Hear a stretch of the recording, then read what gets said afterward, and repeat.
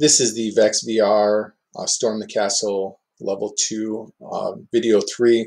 In the previous video, we were a little off, so we changed our reverse here to 150 uh, millimeters.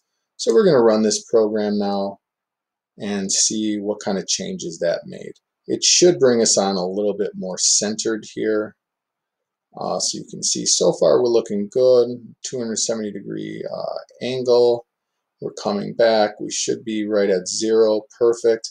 Yeah, we're a little bit more in line with this now. So if we look, oh, we should have backed up more before we made that turn.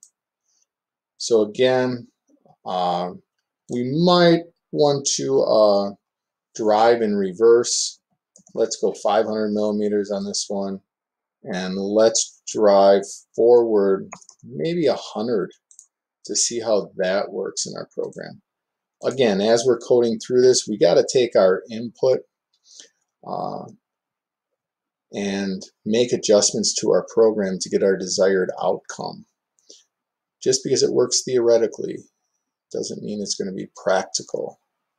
So here, for whatever reason, we're a little off like we were that first time. Uh, we backed up. Uh, not, not enough. Oh, we just missed that one. So we're going to try that to 600 millimeters before we make that adjustment. Uh, you can see we only left behind that one little section. And again, my angle was just off on that one, so I might want to adjust uh, that.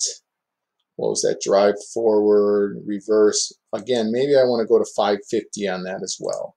But again, the basic portion of the program works. It's just making fine adjustments now to uh, for you to complete the assignment to get it all knocked off.